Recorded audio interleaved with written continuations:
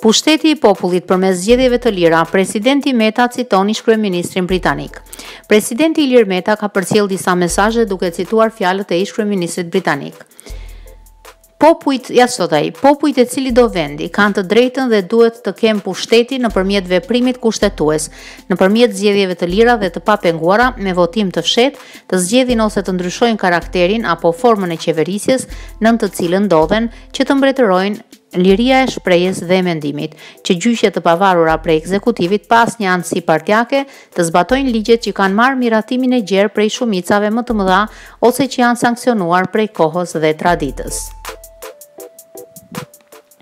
Këto janë akte themelore të lirisë që duhet të ndodhen në çdo shtëpi ose kasolle. Ky është mesazhi i popujve britanik dhe amerikan për njerëzimin. Le të predikojmë atë që bëjmë në praktikë. Le të bëjmë në praktikë atë që të predikojmë. Shkruan presidenti